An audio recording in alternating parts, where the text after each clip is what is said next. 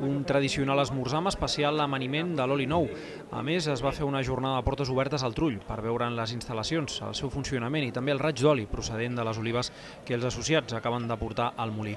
Tot això amb ambient festiu, amb actuació musical i inflables per als més petits. Enguany, després de la mala collita del 2018, la festa ha arribat amb unes bones expectatives de recolecta, que se situa al voltant del milió de quilos d'oliva.